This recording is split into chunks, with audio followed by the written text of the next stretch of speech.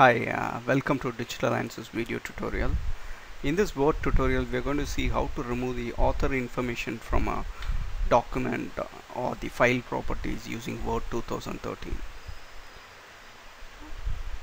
So if you just right click on any document that was created using Word and select properties and navigate to the details tab you should uh, notice the author's information last saved by all those details.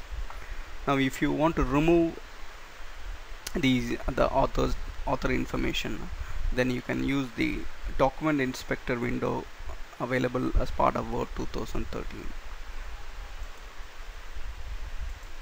so let's launch uh, Word.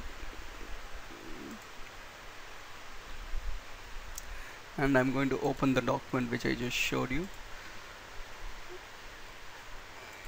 even the document information you should be able to see as part of the related related people section. So here this has the author and la last modified by so in order to remove these details what you need to do is navigate to the inspect document uh, section click the document drop down check for issues and select inspect document. Now this should display the document inspector window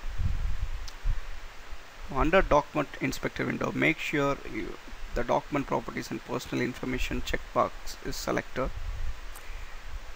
and then click inspect. So this should start the uh, inspection and it should give you the details like uh, the document property and personal information the following uh, information was found. So now if you want to remove the document properties and author just go for the remove all option now you should see the success message that the informations were successfully removed. Now if you close this document inspector window the related people section now will not have any author information. Similarly you can check the file properties but before checking the file properties make sure you have saved this document now if you navigate to the file properties